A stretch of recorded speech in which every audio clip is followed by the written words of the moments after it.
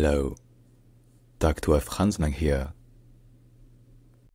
Algiers is the capital and largest city of Algeria, known for its Mediterranean coast, historic Kasbah district, and as the country's political and economic center.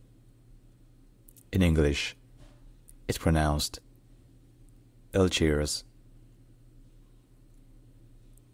Algiers. Algiers. Algiers. Alright, if you enjoy learning our pronunciations, don't forget to subscribe to my channel for more pronunciation guides from around the world. Join me on this linguistic journey and stay tuned. Tschüss.